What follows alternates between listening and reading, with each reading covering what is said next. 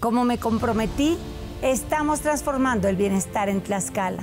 La mitad de la población más pobre de nuestro estado recibe algún tipo de apoyo social.